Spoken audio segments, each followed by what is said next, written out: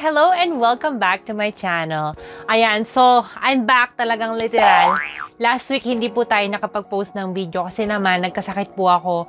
Kung napansin nyo dun sa previous video na in-upload ko, parang meron na akong konting sipon nun. Tapos natuluyan guys, grabe, parang isang linggo talaga akong hindi nakapagtrabaho. Tapos ngayon pagaling na, pero yan, parang medyo stuffy pa rin yung aking ilong. so pasensya na po kung hindi po ako nakapag post ng video. Pero yan, I'm back again. Ready na naman tayong humarap sa hamon ng buhay. Ano da? May pag ganun, parang, parang grabe yung nangyari sa akin, di ba? Pero yun nga po, dahil hindi tayo nakapag-post ng isang week, babawi tayo. And today, meron po akong Hello Kitty haul video para sa inyo. Ayan. So, eto guys, iba't iba po yung pinagbilan ko sa kanila. Meron galing ng Ulta, may galing ng Dave Buster's, meron din ako nabili doon sa Chicago, Chinatown nung pumunta kami doon. Pero mostly, ng mga items na i-haul ko today, nabili ko po siya sa Amazon. Ayan. So, start na natin. Um, gusto ko munang ipakita tong t-shirt ko. Nabili ko siya sa Amazon. Ang nakalagay sa kanya, Do you wanna taco about it? Ah, taray, di ba? Ayan, nakikita niyo ba yung pinaka-design niya? Parang mukha ni Hello Kitty, tapos parang meron siyang drawing ng taco. Ayan. Tapos, um, two videos ago, meron di, di ba yung sa ginawa ko na, ano ba yon yung whole video rin dun sa creme shop. Meron akong parang similar na ganito na suot ko. Ito yun. Yan. Ayan siya. Ang nakalagay naman dito, Aquarius, tapos si Hello Kitty. Ayan. So, uh, February po kasi ang birthday ko. Ayan, malapit na. Baka gusto niyo po akong regaluhan. Joke. And, um, zodiac sign ko is Aquarius, kaya yun yung pinili ko. So guys, start muna natin dun sa mga item na nabili ko sa Chicago, Chinatown. Meron lang akong apat na items na nabili doon. At unahin na natin dito. So meron akong nabili na para siyang dresser mirror or para siyang uh, vanity mirror, ganun. So, itsura siyang maliit, pero actually, yung pinakasalamin niya, sing laki ng box. Kailangan lang natin siyang assemblein para makita natin yung parang real itsura niya or yung kung gaano siya kalaki. So, ipapakita ko siya sa inyo. Ayan, so ito yung sinasabi ko. Parang ganito yung pinaka-itsura nung pinaka-salamin natin. So, dual siya. So, parang ito yung parang pinaka-regular lang. And then, sa kabila, yung parang naka-zoom in yung mukha mo. Ganon. So, kapag binuo natin, ito yung stand. Yan, sobrang dali lang niyang assemblein. Parang pasok-pasok lang. Ganon. Ayan. So, ganito yung itsura niya kapag na-assemble natin siya. Sobrang cute. So, parang ito lang yung parang pinakamukha ni Hello Kitty. Ganyan. Diba? Sobrang taray. Ang ganda. Grabe. Tapos, yung next item naman na binili natin doon, ito siya. Actually, hindi ko alam kung ano to. Yan, nakita ko lang siya na nakasabit doon. So, kinuha ko siya. Ngayon, malalaman natin kung ano ba ito. Saan lang natin? Oh! Ano pala siya? Yung parang plastic na apron. Grabe, ang cute. Ayan. So, ito yung pinakaharapan. Sa likod, wala siyang itsura. wow, ah, grabe. Akala ko paper bag or plastic bag. Hindi pala. Hello Kitty apron pala siya na plastic. Grabe, sobrang cute niya. Tapos, move on tayo dun sa next item, guys. Ito naman yung nabili ko. Meron ako nabili doon na stationery set siya. Ayan, ito yung itsura niya. So, meron siyang kasamang pencil box, may ruler, may pencils, eraser, may crayon, sharpeners, tsaka drawing book. Ayan, open natin para maipakita natin sa inyo. Yan. So, inahin na natin dito sa pinaka lalagyanan ng pencil case. Or ito yung pencil case. Um, ganito yung itsura niya sa likod. Ganyan yung design niya. Parang tin can lang siya sa loob. Ayan. Parang lata type. Sa loob wala siyang design. Pero cute na rin kasi itong whole set na to, 4.99 ko lang siyang nabili. Tapos, yung mga items, other items na kasama dito. Ayan. So, meron tayong crayons.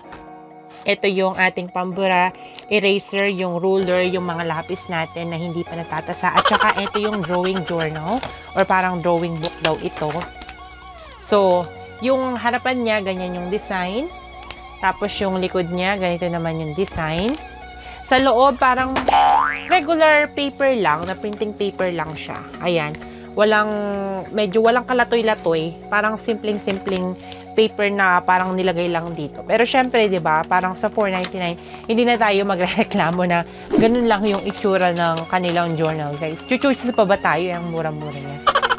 Tapos, yung final item naman na nabili ko doon sa Chinatown, ito siya. Ito guys, baso to mag. Parang meron na rin akong similar na item na na haul ko before. Ayan. Ganito itsura niya. Sobrang cute. Sa likod, wala siyang design. Ito, 8.99 ko siyang nabili. Tapos, yung pinakatakip niya, ayan, tignan niyo. Oh, di ba? Parang si Hello Kitty, pink yung background, tapos meron siyang crown.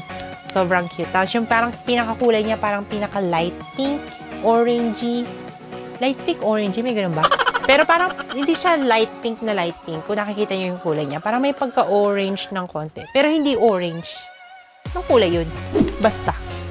Orange na may pink. Ganun. Bahala na kayo. Tapos, ito naman yung two items na nabili ko or nabili, nakuha namin, napanalo na namin sa Dave and Buster's actually. So, yung una, ano lang siya, towel holder. So, ayan, uh, plastic type. Tapos sa likod, meron siyang suction. Pwede mo siyang ilagay sa mga banyo nyo. Yan, sobrang cute niya. Tapos, ano siya, yun nga, sabi ko parang plastic type, tapos parang meron siyang mukha ni Hello Kitty dito. So, I'm pretty sure hindi naman masyadong maraming towel yung malalagay natin.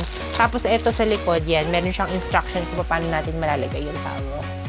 Diba? Bongga. Tapos, ito naman, isa siyang paper bag. Hello Kitty paper bag lang siya. So, sa loob, parang meron siyang lima. Tapos dito nakalagay ice cream Hello Kitty sa harapan. Tapos sa likod naman, Hello Kitty and Friends. Ayan, parang meron lang silang mga pa-flower shop. Flower shop ba yan? Basta meron silang hawak na bulaklak. Ano ba? Sobrang cute.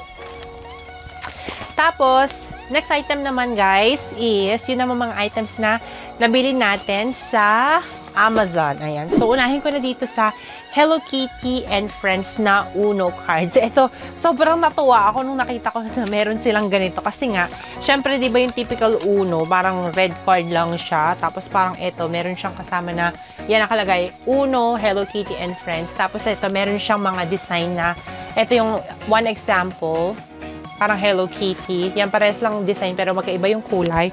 Tapos, yung mga ibang cards nila, yan, parang kasama niya sila Keropy, tapos sila um, My Melody, ayan. So, iba't iba yung itsura ng card. Sobrang cute niya. Ang next item naman na binili ko, oh my gosh, eto guys, sobrang nakutan ako dito kasi nahihirapan ako humanap ng cute case dun sa phone ko. So, yung, yung phone ko ngayon, eto siya, yung um, Samsung ano ba to? Samsung S10 Plus Edge. Yun yata yung, basta yung S10, ah, S10 Plus Edge. Yun yung phone ko. Ayan siya. So, nahihirapan akong humanap ng mga magagandang case sa kanya. Pero, good thing, eto nakita ko siya. Eto, nakalimutan ko kung magkano ko siyang nabili. Pero guys, ang ganda nito, napaka-convenient. Kasi, meron siyang kasama dito na holder or parang pwede mo siyang ilagay na wrist dito sa ano mo, dito sa kamay mo na ganyan. Armband, armrest, wristband, ganon. Tapos pwede i-connect mo siya dito sa ating um, pinaka phone case para siyang keychain, mga ganon. Lagay natin. Ayan, sobrang cute.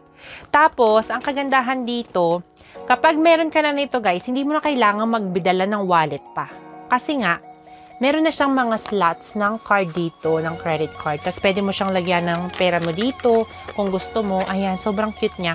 Tapos hindi siya velcro type, parang magnet siya. Ayan. Tapos ito, sobrang ganda ng harapan tsaka ng likod. Just, so, so, parang yung kulay niya din, sobrang ganda. Yung design niya parang mga bow lang ni Hello Kitty. Ayan, sobrang cute guys. Ito talagang one of my favorite purchase na dito sa, one of, dito parang isa sa mga pinaka-paborito ko. Dito sa whole video na to. Dito sa whole na ginagawa ko. Ayan, sobrang ganda. And then, meron din ako nabili dito na Hello Kitty karaoke microphone. Ayan, ganito. Hindi ko mapapakita sa inyo guys kung paano siya gumagana kasi nga, ang kailangan daw dito, tatlong AAA na batteries. Wala po tayong AAA na batteries ngayon. Pero gagawa ako ng another video. Yan. Parang dami ko ng promise na gagawa ko ng another video para maipakita ko kung gumagana ba yung mga items na nahol ko pero hanggang ngayon hindi ko pa nagagawa. Pero promise, bago matapos ng taon na to guys, stay tuned for those video. So, yung pinaka-itsura ng microphone niya, parang itsurang pambata type. Ganyan. Pero sobrang ganda. Kasi nga, tingnan nyo naman. Ay, ano ba yan?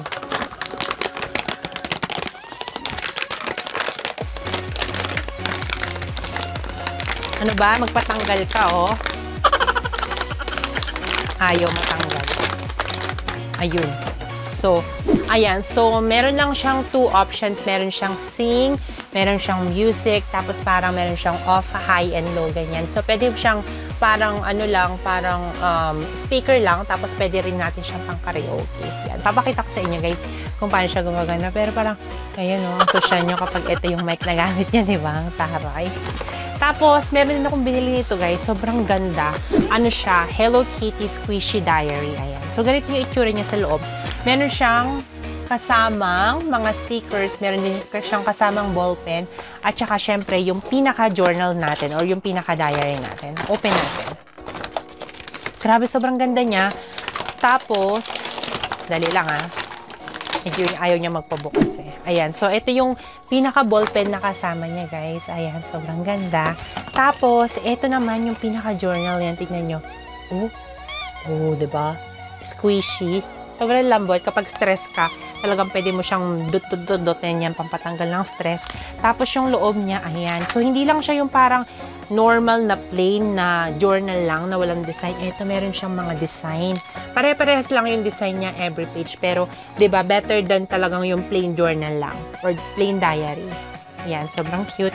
Tapos, ito naman yung mga kasama niya na stickers. So, parang meron ditong mga alphabet, tapos dito naman meron tayong iba't ibang mga mukha ni Hello Kitty. Ayan. Sobrang colorful, parang rainbow type, ganyan. Sobrang nakaka, nakaka good vibes. Good vibes, ganun. Sira. Okay. Tapos, meron din ako nabili dito na Flash Animal. Ito guys, ito yung uh, ah, 45th anniversary edition na Hello Kitty. Ayan. Yan yung itsura niya. Sobrang ganda. Saan din natin para maipakita natin sa inyo yung itsura niya. Ayan. So, sobrang lambot, tsaka sobrang ganda nitong pinaka-bow niya. Ay, nako. Nakadikit siya sa ilalim, ayaw magpatanggal. Yan lang daw siya sa box. So, huwag na nating pilitin. Gusto niya magpakit sa. So, ganun na lang yung gagawin natin. Pero, ayan, sobrang ganda yan, guys. Tsaka, sobrang soft nung pinaka-flash. Ayan. Tapos, meron din ako nabili na, ano siya, laruan. Literal na laruan na pambata. Hello Kitty Rescue Set. Ito. Yung reason kung bakit ko to binili, dahil dito sa mga Hello Kitty figures na nasa taas. Kasi marami akong collection ng ganyan. Tapos ito, yun nga, nakita ko siya, dahil nag-sale din to eh. Parang naging na lang siyang, dati yata siyang 35 or mga nasa 30 something. Tapos nag-sell siya ng $21. Kaya ako siya binili. Tapos sa likod niya, ayan, makikita natin yung parang pinaka itsura nung mga laruan. Meron pa siyang helicopter, tapos parang meron pa siyang kasama na ambulance na Hello Kitty. Yan, may mukha din ni Hello Kitty yung pinaka-ambulance niya. Sobrang cute. Um, ito guys, hindi ko na siya bubuksan kasi gusto ko siyang i-display like this. Gusto ko makip lahat. Kasi pag binuksan ko, baka magkahiwa-hiwalay it. Meron kasi siya mga small pieces.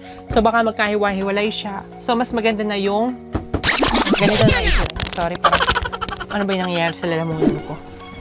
And then, meron din akong binili na, guys dito na ano siya, Hello Kitty Coin Bank. Ayan, sobrang cute niya. Ceramic Coin Bank. Ayan, so ganito yung itsura niya. Actually, ito, kailangan nyo siyang pinturahan yourself. Meron siyang kasama dito na mga ano, mga pintura at saka meron siyang paintbrush. Ito nakalagay, paint your own Hello Kitty Bank. Ayan, nakalagay siya. Open natin para makita, na, makita nyo guys kung ano yung itsura niya. Ayan siya. Oh! Actually, medyo may kaliitan siya. Ayan, tingnan nyo. Hindi ko na-expect sa sa laki ng box na ganito lang kaliit yung laman pero okay lang. Ayan, so Gagawa din ako ng another video. Papakita ko sa inyo kung paano ko pinuntanahan. So, kayo na yung bahala. Discard nyo kung anong kulay yung gagamitin nyo. Kung gusto nyo ba na pink or yung parang ibang kulay, purple, ganyan. Kayo na po yung bahala. So, ayan, parang true to size pala. Kung ano yung drawing dito. Ganun lang din talaga pala kalaki yung ano, yung pinaka coin bank. Talagang ano lang siya. Marami lang talaga siyang cushion para hindi siguro mabasag. Ayan. Tapos, ito yung mga kasama niya na mga pangkulay. Ayan. Parang okay naman yung mga size. I think enough to to color the whole ano ceramic bank. Tsaka meron siyang isang kasamang pang ano dito, paintbrush na pang kulay guys. Ayan. So, ganun yung itsura niya. And then, gagawa ko ng another video to show you kung paano ito kulayan. At saka, kung gumagana yung binili natin na mic. Ayan. So, actually, dalawa yung binili ko na ganito. Yan. So, ito yung isa. Tapos, ito. Ito yung isa. Dalawa binili natin kasi mag-start na yung taon, mag 2020 na. At isa sa mga New Year's resolution ko is yung mag-ipon talaga. Kaya bumibili ako ng mga coin back. Char. Tapos yung final item guys na binili ko, nabili ko siya sa Ulta. So ito, ano lang siya, wala, pang-ahit. Pang-ahit. So, um, Intuition limited edition na Hello Kitty. Ayan. So, meron siyang kasama na apat na ano mo tawag doon? Pangpalit. Refill. Refill. Pampalit. Ayan. So, eto, ang kagandahan dito, hindi na daw natin kailangan ng shave gel. Ayan. Open natin para makita natin yung itsura niya. May gunting tayo dito eh. Saan ba yung gunting natin? Nawala. Ayan. Saan na lang natin siya? Okay. Uh, uh! Nahulog lahat. Mali yung pagka-open natin. So, ang ganda nung ano niya, ayan, binabalik ko sa box kasi nga nahulog siya lahat. Ang ganda nung mga individual na pampalit niya, meron siyang mga casing, yung parang pinaka-head nitong ating pang-ahit. Ayan. So, parang, actually, lima nga siya kasi meron na tong isa na kasama. So, ayan, sobrang cute niya. Hello Kitty. Ayan, sobrang cute. Yan, sobrang mapapakinabangan natin. Kasi ako talaga yung legs ko, sinishave ko yung ano, yung mga hair kapag, syempre pag summer, ganun, kailangan tanggalin yung mga buhok kasi minsan ang kati-kati tsaka humahaba, nagbumukha akong unggoy eh. So, ayan, sobrang cute niya guys. Tsaka eto, So, hindi na natin kailangan ng shaving gel kapag gagamitin natin siya. Kaya ako siya binili. Ito, 1999 siya. Nabili ko siya sa Ulta. And, that's it, guys. That's it. Um, that's everything. Sana nagustuhan nyo itong aking whole video. At marami pa pong parating. Hopefully, hindi po kayo magsawa na manood ng aking YouTube or ng aking mga videos. Kung first time yung nanonood dito sa channel ko, please subscribe to my channel. Pakipollow na rin po ako sa aking mga social media accounts at Pinay Kami sa aking Instagram. At please like my official Facebook page or ang aking Facebook page. It's called the Pinay Kami Official. At yun lang guys, thank you po ulit. Sana po hindi kayo magsawang manood. And I will see you on my next video. Thanks for watching!